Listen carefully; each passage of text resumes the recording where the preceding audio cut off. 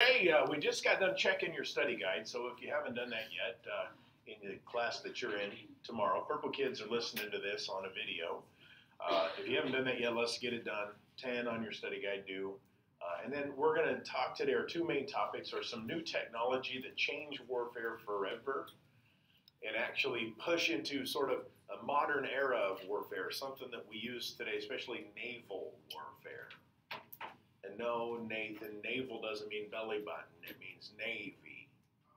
Well, it actually means both things, but it'd be weird to have a war with your belly button. Not really sure how that would go. Probably be a big difference if you're an innie or a outie, right? I mean, I don't know. But anyway, Navy. And then we'll talk about uh, the Battle of Shiloh, which is the bloodiest battle up to this point. It's a two day battle, and it is nasty and ugly and bloody and, and, and bad. So we'll take a look at that. Then please don't forget if you've been assigned Medal of Honor Monday, and you can look at the board if you're missing that. Uh, if you're not sure if that's you, look at the board and, and check it out. So Purple Kids, it's written on the board, P1, P2, P3, P5. Uh, take care of that business, please, and continue working on your study guide as we go. If there's something that pops up from today's class that is on your study guide, just go ahead and click it in. Otherwise, try to stay focused and try, try to stay where we are as we uh, get going today. Go back here. Switch to this. Not ready for Battle Shiloh. Oh yeah, we got some cool stuff before we even get to that. So I, I will back up to this because I'm not exactly sure where we left off.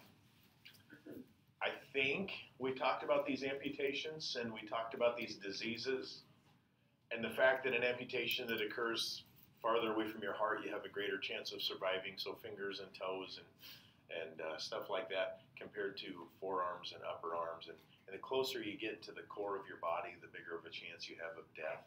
And that probably has to do with the size of the limb that's being removed. You know, if you're removing some limb at the middle thigh, there's a, a better than half a chance that you're going to die because your thigh is large, so there's more blood vessels that you'd have to tie off, and, and there's just more mass that has to be removed. So, uh, hip, you know, very few people survive uh, an amputation at the hip. And I think there were a couple of pictures yesterday that maybe showed that sort of amputation, but uh, pretty pretty rough. But those are only federal amputations, so we have to at least double it because the Confederacy would have been doing the same thing. But the Confederacy kept really poor records throughout the war, and most of their records were either destroyed or lost when the war was over. They didn't want anybody knowing their stuff. But uh, all of those fatalities. Fatality means killed um, as a result of amputation. So uh, the other day in class, we amputated somebody's arm, Olivia's arm, and she seems to be doing fine today. She's adjusted well to only having one arm, or part of an arm, and a nub, or a stump. Is it a stump on an arm, or is it just a stump with a leg? Stub instead of st- leg would be a stump and an arm would be a stump. That's probably about right. I'll take that. So uh, Olivia's stub fine. So glad to hear that. Was really hoping she wouldn't pass away as a result. So I think we did that slide, and, and then we move on to this. This is also brand new technology. Embalming. Embalming means that uh, when somebody passes away, and, and by the way, talk about an advertisement for your business, right? You got two coffins standing up next to your embalming tent with dead guys in it. Embalming is a process that stops the decomposition of a body. So when someone dies, up to the Civil War, when someone dies, you want to bury them as quick as you can and get them in the ground because the body immediately upon death begins to decompose. It's going to swell up, it's going to fill with gases, it's going to get stinky almost instantly. So uh, it's a little bit different today because if somebody passes away, we typically don't hold a funeral for that person for three or four days at least because we're waiting for family to get together and we got to make arrangements and we got to hire the funeral home and we got to dig a grave. And so, back then, they just dig a hole and stick you in it. Most people, that's still the case at the time of the Civil War, but because a lot of people that died were far, far away from home, If you're die, if you die fighting in a battle located in the Confederacy and you're a Union soldier or a Confederate in Union territory, if you're wealthy enough, you could have your body embalmed and then sent home. Even in the heat of the summer, you could have your body embalmed and then sent home. The process is relatively gross. You see this guy here is being they're doing it on a table outside. But really what they do is they, they set you up on some sort of a table. Today it would be a nice stainless steel table. Uh, they cut slits in maybe your ankles where your arteries are, and they drain all the blood out of you and as much bodily fluids as they can. And then they pump you full of preservatives. It's like making a human pickle. Pickles don't rot because there's so much, what, what is it, vinegar and stuff in pickles that they don't rot. You can eat a pickle that you canned uh, two years ago and it's still just fine for you. So a person that's embalmed, their body doesn't decay like a non-embalmed person. So you could take a week to get them home. Will they eventually decay? That question's too gross for me to really go into, but I've read stories that if you go to the cemetery and you dig up a body that was embalmed, and pretty much everybody that dies today is either cremated or embalmed. If you dig up that body, someone that died 10 years ago, and you open their coffin, this is creepy. They're going to look almost like they looked the day they died. Which might be even creepier, those of you that watch zombie movies, because a zombie really isn't probably going to look any different than. So it's possible that you're a zombie, and we just don't know about it. I mean, look at Ty. He kind of looks like a zombie. It's just that he was embalmed really well. So uh, the first American president to be embalmed was Abraham Lincoln, which was necessary because he died in Washington, D.C. when he was shot at Ford's Theater. And then his body was returned to Springfield, Illinois. And it took nearly two weeks. So his body had to be in pretty good shape. And all the way, every time they stopped in a small town on the way back home to Illinois, they stopped the train so people could view the corpse of Abraham Lincoln So he was pretty well preserved, I guess you would say. And that's what doctors do to bodies today, or what, eh, not doctors, what uh, morticians do is they drain the fluids and they pump them full of pickle juice. Except it's not really pickle juice, it's really formaldehyde. But this is kind of interesting that, that now we have a tool to keep. That guy doesn't look dead, the guy standing there in the coffin. He looks just like everyone else because he's well preserved. So it's a new science. If you decide you want to go that direction with your life, morticians make a lot of money. And the beautiful thing about being a mortician is they're never going to run out of business. People are always dying. So, but you got to know a lot about science and you got to be able to deal with grossness.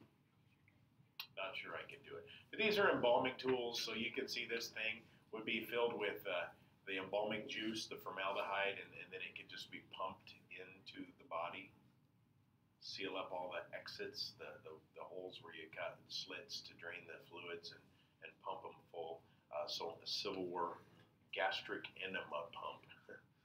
no, thank you. We're not going that direction. So uh, that's kind of interesting stuff. But anyway, here's a guy getting embalmed, and, and the, the, the embalmer just stuck the tool right in his heart. Well, that works pretty good because the heart is the delivery system to all of the rest of the body. So just jabbed it into his chest, right into his heart. This dead man here is being preserved so that his family can get him later.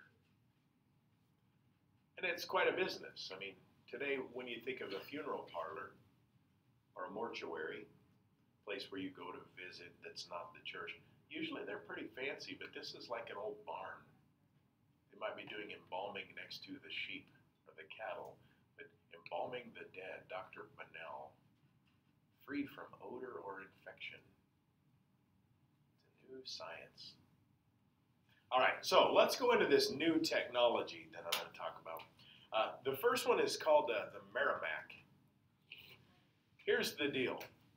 When the Union left Confederate territories, just like when they were forced out of uh, Fort Sumter, when they left, they couldn't always take everything with them. But They didn't want to leave any military tools for the Confederacy, so they either took it with them or they did their best to try to destroy it.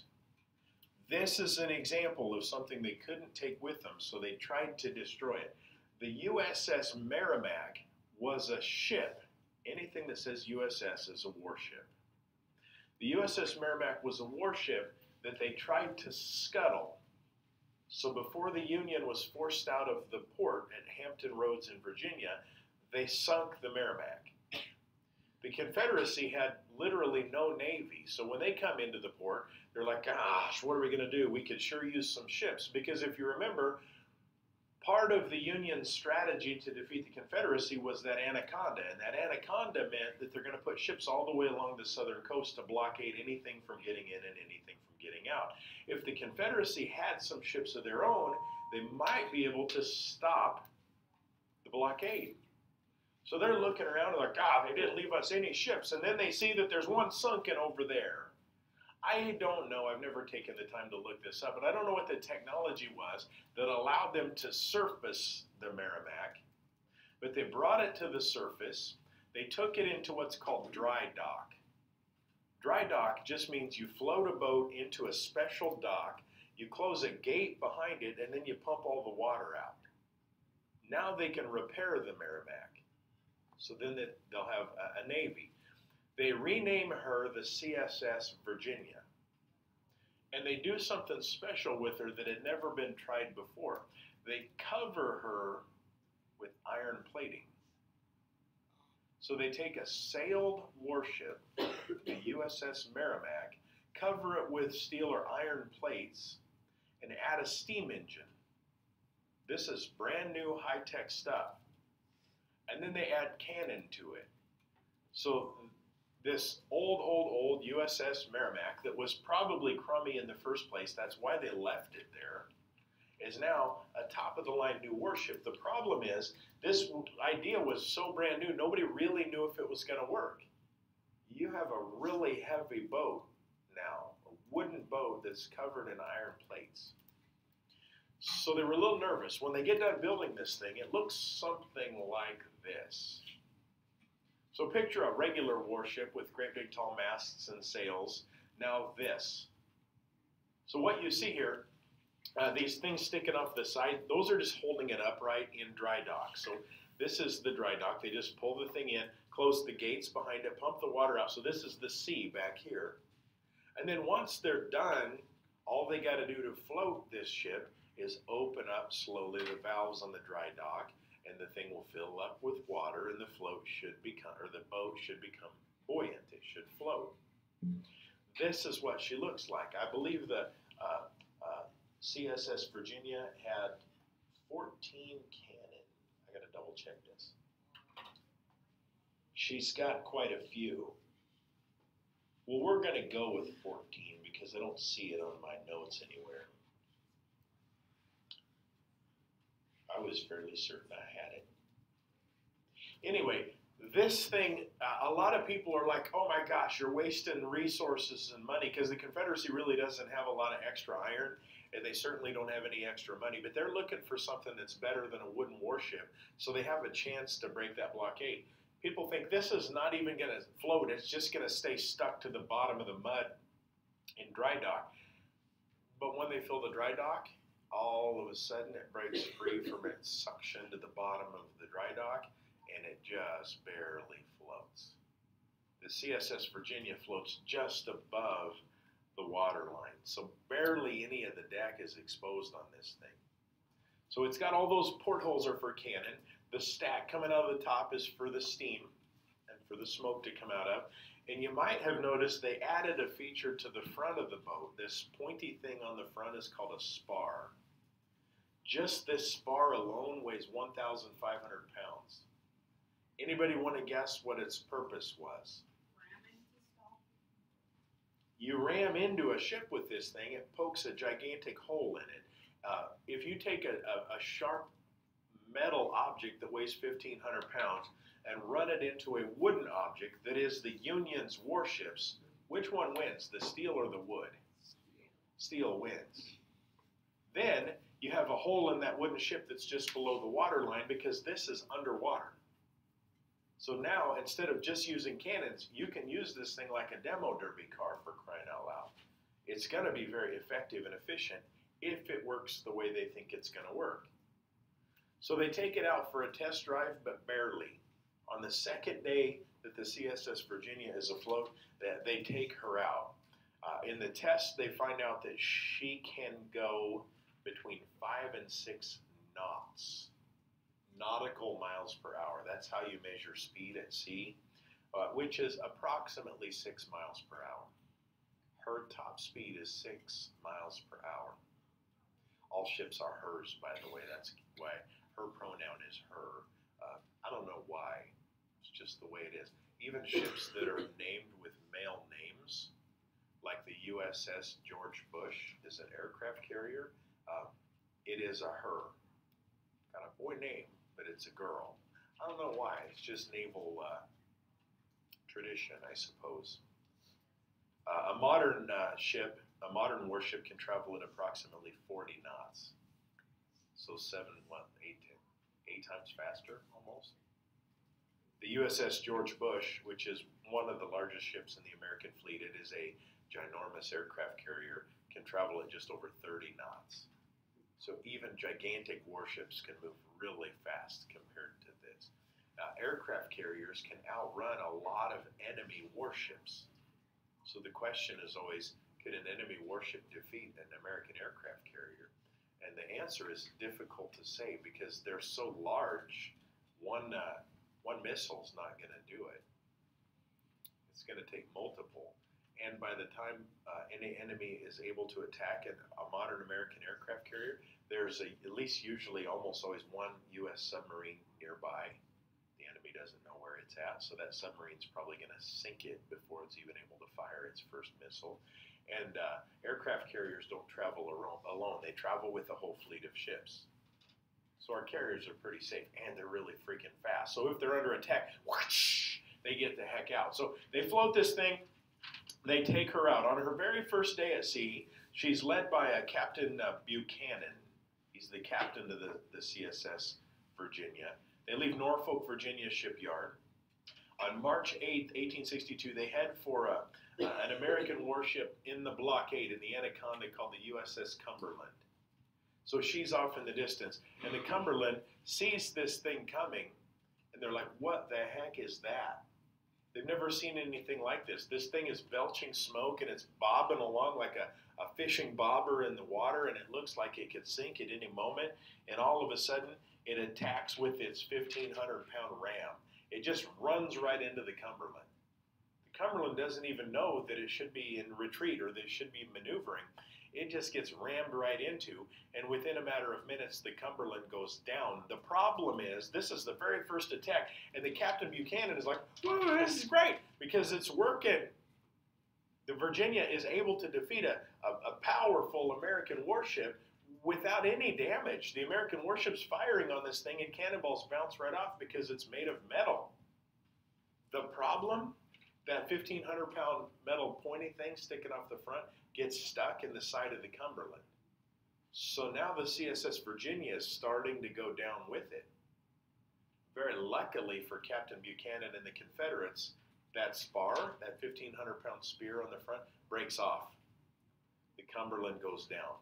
Captain Buchanan and his men are like, Woo, we've done it! The war will be over in no time. It's working. Very quickly, they turned their sights on a separate, a second target, the USS Congress. The USS Congress just watched what happened to the USS Cumberland, and they were like, OMG, this is no good.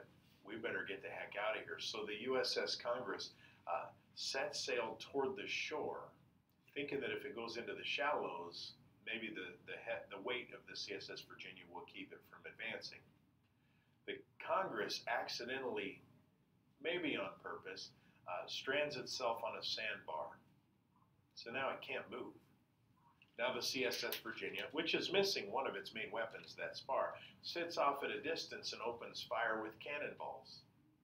The captain of the Congress decides it might be a good idea to surrender, maybe thinking that by nightfall the tide would come in and the Congress could float away. But he comes out, raises a white flag, and surrenders. And Captain Buchanan, as ecstatic as he is that he's just won this great victory over two powerful American warships, he comes out onto the deck of the CSS Virginia to accept the surrender of the Congress, and somebody on shore shoots him in the face. Doesn't kill him, but Captain Buchanan is like, "Don't, gosh darn it!" So instead, uh, he gets back in his ship. He orders his men to send hot shot at the Congress, which probably is silly because his goal ultimately should have been to capture the Congress because the South needs more warships. But instead, they use hot shot, which just means they take cannonballs that are heated to the point where they're smoldering red.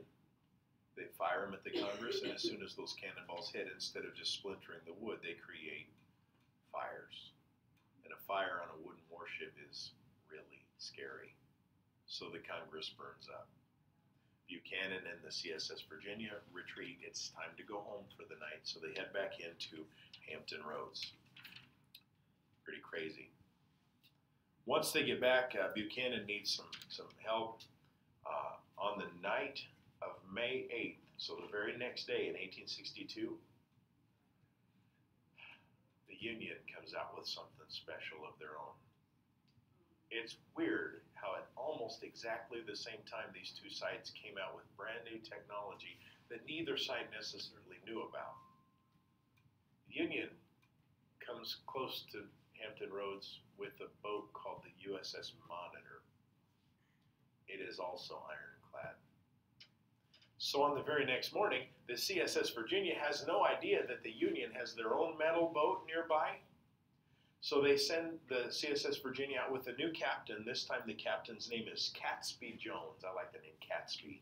Uh, he takes off and he automatically, immediately sees another American warship in the blockade, the USS uh, Montana, or Minnesota. Montana didn't exist yet. The USS Minnesota. He sets his sights and bears down toward the Minnesota, and as Catesby Jones gets closer to the Minnesota, he sees something right in between it and the Minnesota. He doesn't recognize it, he's not sure what it is. He calls it what appears to be a tin can on a shingle. The design of the monitor is completely different. Whereas the Confederates took a warship and made it into a metal ship, the Union just built a metal ship the very first completely metal ship. This has a wooden frame. The USS Monitor doesn't, and it looks completely different. Whereas this one has, I believe, 14 cannon, big cannon. The USS Monitor looks like this. It floats about six inches above the waterline, and it has one or two cannon. Any idea how the heck this thing is supposed to be? Smaller, but how is this thing supposed to be effective? It's only got one or two cannon.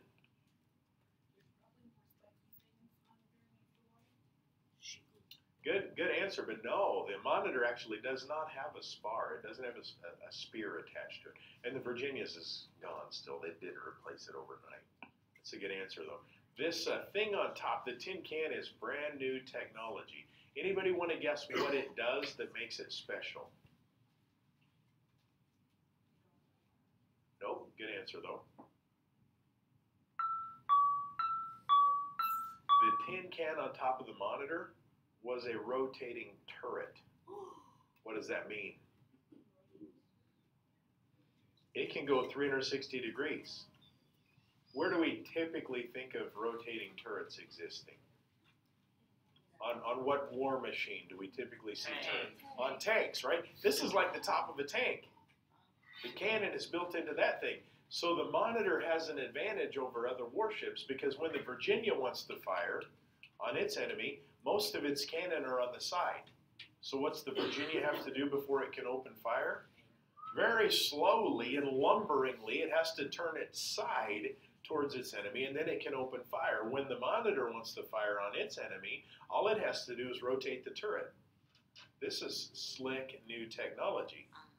This could be game changing. Now we have two ironclad warships.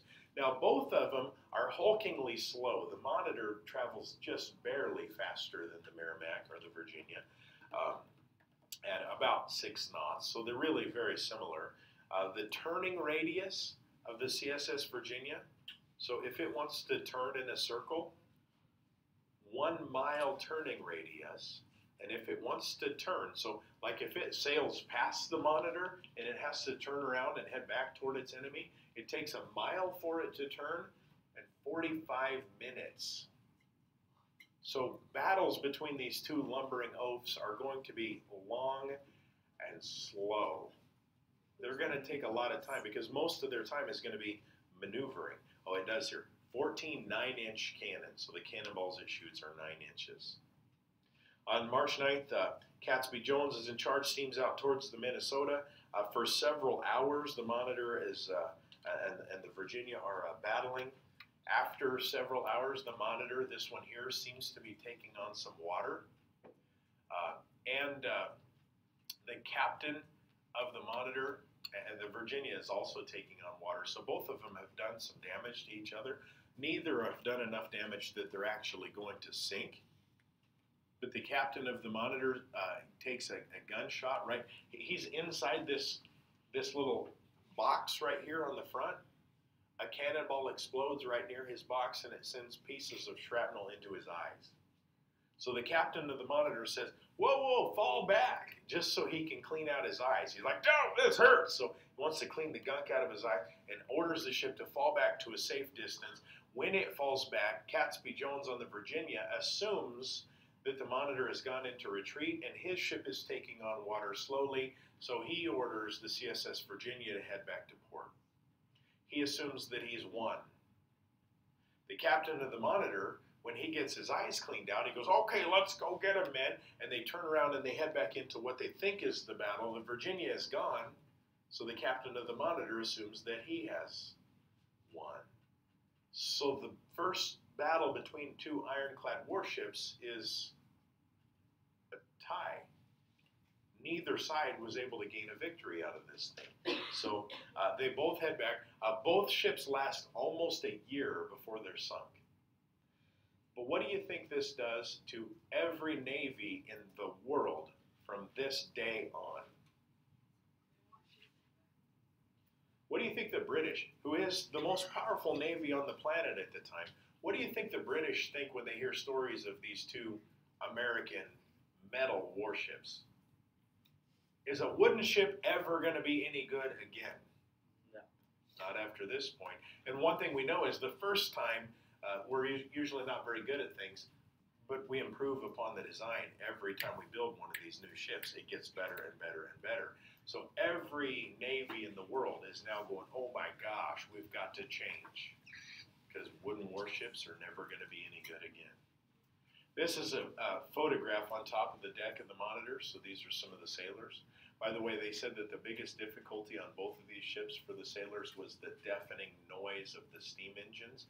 And if you can imagine, if you're inside one of these things when it takes a direct hit from a cannonball, uh, the noise that must happen when a cannonball strikes metal plating. Sort of like being in a, a, a metal shop when it's raining. It's really loud because that metal roof is like. So imagine getting hit by a cannonball inside a, uh, a, a metal like this. And they said in the summertime it was so smokingly hot that you couldn't breathe. It was just sweltering and hot. There's no air conditioning. There's no ventilation. These guys were tough dudes to sail on these ships. So this is an image of what it might have looked like as the Monitor and the Virginia are battling, and you can see why they call it a tin can on the ship. It's just barely floating above the surface of the water. And uh, even when they hit direct hits, they don't do all that much damage. So um, interesting. Wooden ships are toast, but metal ship versus metal ship is going to take some new tactics. More images here. Even uh, on the top right picture, you see next to the porthole or whatever that is, two big dents. You've got to assume those are dents that were made from Confederate cannonballs. Here we see the CSS Virginia, and look, she's not even completely floating. So this technology is brand new baby technology. It's sort of like when a car company comes out with a new design everybody's always excited because it's a fun new design, but that first version is usually junk. So, you know, when Tesla comes out with a brand new Tesla pickup truck, yeah, it'd be fun to be the first owner of the Tesla. By the way, I think they're awful and ugly. Tannen thinks they're the coolest truck ever. You want to be the first one to own one, but yet it's going to be a piece of junk. You better wait until the second or third model come out and they fix all the mistakes that they made in the first one that they don't know about until someone drives it for 100,000 miles. Other versions of ironclads, some USS means they're American and CSS means they're Confederate.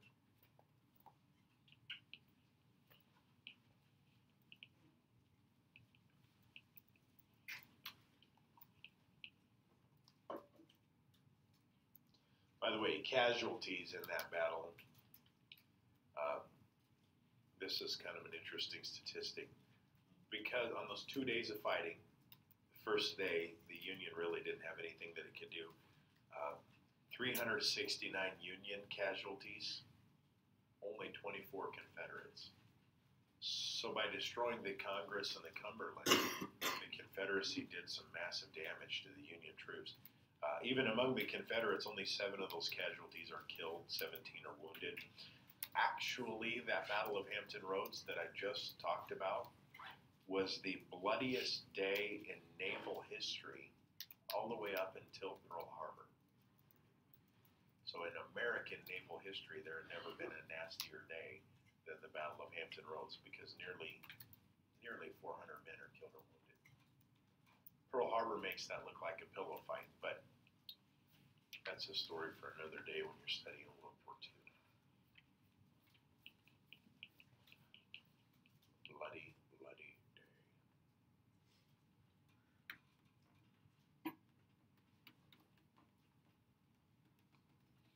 day. Okay, let's talk about another battle, a land battle this time. No real new technologies, new tactics. This is General McClellan. He's taken over when Irvin McDowell was too much of a hesitator. McClellan himself is going to be a bit of a hesitator too, but he's in command of the Eastern Front. So McClellan takes over the Army of the Potomac, which is the best of the Northern armies. He's kind of the boss right below Ulysses Grant. His men are well trained and well organized. He's actually a fairly good coach when it comes to getting his men prepared. I would say that uh, sometimes there's coaches that are good at getting people ready for battle, and sometimes there's coaches that aren't very good at battle. And then sometimes you got coaches that aren't very good at pre- preparation, but they're really good at game time. I don't know, maybe that was the case with uh, Coach Frost. From everything we're hearing from the players, he wasn't very good at preparing them to be ready to play the game, but then in game time, he wasn't a bad coach. They had pretty good tactics usually to keep it close. His guys just weren't ready. I think that's probably the case with uh, George McClellan here. He's a good guy at getting his men ready, but he's always hesitant to use them, reluctant to attack. And then we see General Grant in the South. General Grant's kind of an interesting character because when the war breaks out, Grant isn't even in the Army. He'd been forced out of the Army, he'd been forced to retire. Grant fought in the Mexican War. Grant's been around, he's got a lot of experience, but throughout his entire career, he made enemies. Now, everyone has enemies, at least somewhere at some point. Reagan, wake up. Pay attention.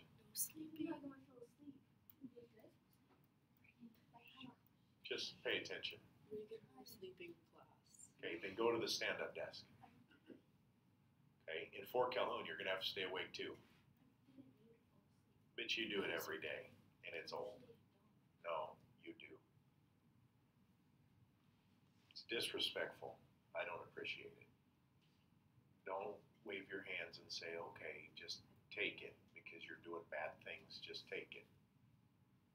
I'll see you after class. So, Grant wasn't even in the army. He'd been kind of run out. He was sort of told, you either need to retire and go home, or we're going to kick you out. Because his enemies were pointing out that uh, Grant had a bad habit of being drunk and derelict of duty. People that didn't like him said going into battle, Grant was drinking. in the military, you're not supposed to consume alcohol when you're on duty or getting ready to go on duty, because obviously you're going to put other people in jeopardy. So Grant retired. He went home. Uh, his wife and children were happy to see him, and Grant tries everything. He tries to be a tanner, just like John Brown had tried to. He fails at it. Uh, he was he, he pretty much did the same things John Brown did, but he wasn't good at anything. And then the war breaks out, and Abraham Lincoln. We know that the North has issues when it comes to finding leadership. We know that the South had better leaders. So Abraham Lincoln's like, who do we got out there? And, and his Secretary of War is going through the names of all the guys, and he's like, well, we got this guy General Grant. He retired a little while ago. He was pretty good, but and Abraham Lincoln goes, I don't want to hear the buts. Go get him. So they go to his house in Illinois, and the War Department knocks on his door, and General Grant. He, this is how I picture this. General Grant peers through the, the curtains and he sees it's the War Department and he tells his wife, Tell him I'm not here. And she's like, Well, just talk to him. And, and he goes, No, I'm not here. So he goes and hides in the bedroom or something. She opens the door and they're like, Can we please speak to General Grant? And she goes, Well, he's not here right now. What do you fellas need? Well, we need to talk to him because uh, there's war brewing and we really need his leadership and his skills. Um, Mrs. Grant had seen how miserable her husband was because he was horrible at everything. And I don't think, I think this is true. Most wives don't like seeing their husbands being miserable. Most husbands don't want to see their wives miserable either. Except for Mrs. Bellamy, I think she thrives on the fact that I'm miserable. She likes to see me suffer. Maybe I'm wrong, but I think that's it. Some of you are like, yeah, I think my mom's that way too. Anyway, Mrs. Grant must have been nice because even though no woman probably ever wants to send her husband off to war, Mrs. Grant understood that that was the only thing he was good at. And it's the only thing he really liked. So she's like, Yeah, he's not here. He's in the back room. So he comes out like, Oh gosh, why do you have to tell him? And they're like, Mr. Grant, we need you. And he's like, You guys told me to go home. And he's like, We need you. We need leadership. So they don't put Grant in a position where he's going to be noticed. They send him out west. They don't give him the job where, where you're going to be seen every day. They send him out west to do the dirty work where nobody's paying any attention. So immediately, Grant takes over in the West, and he immediately builds a reputation of being a hard nosed fighter. By the way, for those of you that aren't very big, I always think this is kind of a funny statistic. General Grant was uh, an expert horseman. I'll, I'll, go through a couple of things. Um, he was an artist and he loved to read books. So not all warriors are like, tough guys. He finished in, in his class at West Point, so he did go to the military academy, finished 21st out of 39 cadets. So, right in the middle. We talked about this before. Even if you finish 39th out of 39, you're still among the best of the best. So he's right in the middle of his class. He's going to be among the best. But Grant's issues weren't so much that he wasn't good at the studies of warfare, it was that he was kind of a slob. So his uniform was always untucked or dirty.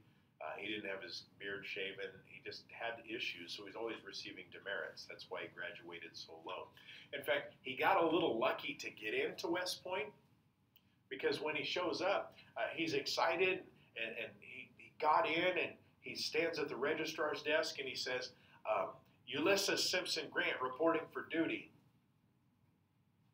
They looked at him and they said, uh, We don't have anybody by that name here. And they looked it up in the book and he's like, oh. Actually, uh, his name wasn't Ulysses Simpson Grant. It was something else. I don't remember what it was, which is ridiculous because I should know that. And the guy goes, "Wait a minute, we do have a Ulysses. Uh, no, his his real name. Thank you. I'm gonna back up a little bit. His real name was Hiram. Ulysses was his middle name. So he steps up to the registrar and he says, Hiram Ulysses Grant reporting for duty. And the registrar says, We don't have a Hiram Grant on our our 39 students. You're not here. And he goes, Wait a minute, we do have a Ulysses Simpson Grant. Ulysses was his middle name. Simpson was his mother's maiden name. Someone screwed up the paperwork. He goes, Yep, that's me. He wasn't stealing somebody's spot. It's just that they screwed up the paperwork, and he liked it. He hated the fact that his name was Hiram. That's what his real name was, Hiram. The mama, he was born like, oh, little baby Hiram. He hated it because he wasn't very big. Here's the part where I say, if you're not a very big guy, it don't mean you can't be a tough guy. Uh, Ulysses Grant, at the time he was 17 years old, was five foot two and weighed 117 pounds. He's pretty small, kind of a little giant, you might say. Because of his size and because of his name, Hiram Ulysses Grant, his friends gave him the nickname Huggy. If you picture yourself as a tough guy and you want to be a warrior, you really want the nickname Huggy? No. So you go to the military academy and they give you the name Ulysses Simpson Grant, U.S. Grant. If you want to be an American war hero, how about the initials U.S.? United States Grant. So he takes it and he goes into the academy and he has some success. But uh, initially, uh, he has some success fighting in the West. At, at, Fort Henry and Fort Donelson, he wins. He allows boats to reach as far as uh, Alabama. Uh, so he's kind of kicking tail. And then the Battle of Shiloh breaks out. The Battle of Shiloh takes place at a church in Tennessee, April 6, 1862. This is going to be the fiercest fighting of the war up to this time. 40,000 Confederate troops mass under Albert Sidney Johnston, and they attack Ulysses Grant and his men. Uh, Grant is getting his rear end whooped. In fact, in the very beginning hours of this battle, Grant is nowhere to be found. Grant claims he was out on a ride doing reconnaissance when the battle started. Grant's enemies that fought under him said Grant was drunk and derelict of duty. He was sleeping off a hangover. Are they right? I don't know. We'll come back to that in just a minute. By the way, Albert Sidney Johnston, the leader of the Confederate troops, will be the highest ranking officer on either side to die in battle. He gets killed at the Battle of Shiloh. Al, this is a tough guy too. Albert Sidney Johnston gets shot in the leg, and he's he's injured, but he refuses to go to the field hospital, even though his men are like, "You're wounded, sir. You got to go." Until all of a sudden, the dude falls off of his horse, deader than a hammer. What had happened was Albert Sidney Johnston took a bullet in the leg, and he had on tall riding boots, like up to his knees. When they pulled off his boot to determine how bad the wound was, his boot was full of blood. So the dude bled to death. He's that tough of a guy. So the Confederates attack the Union. The Union's kind of on its heels. After the first day, there are 30,000 Confederates and 40,000 Union troops, uh, and it looks like the Confederates might be able to rout them. Total men involved are 45,000 Confederates and 62,000 Union troops once reinforcements show up. By the second day, there are 23,000 casualties in one day of fighting, 23,000 men killed or wounded. This dwarfs anything we see from the entire American Revolution in one day of fighting. The Battle of Shiloh is nasty and ugly. By the time Grant shows up, uh, his men are like, after the first day, they're like, Sir, we've got to retreat. And Grant says famously, he says, Retreat? No, I propose to attack at daylight and whip them. Grant is not a quitter. He's not turning around. And what Grant knows that some of his men and some of his other officers don't know is he's got reinforcements coming under the command of a guy named Don Carlos Buell. When Buell shows up with 30,000 more Union troops, he knows that he's got more men than the Confederates do, and he can turn the tide of war against them. On day two, when those reinforcements show up, uh, they're outnumbered. Uh, they outnumber P.T. Beauregard, who takes over for Albert Sidney Johnston. So here's Beauregard again uh, by 30,000 men. Even if you're not as good, if you've got 30,000 more men, you're probably going to win. Uh, one Southern soldier at a part of the battlefield called the Sunken Road or the Hornet's Nest described it as zipping bullets sound like angry hornets. It's a hornet's nest in here. So there were so many bullets flying through the air that you could feel them whizzing past your head like an angry hornet. So it's almost impossible to paint an image of being at one of these battles, but it gives you a pretty good idea.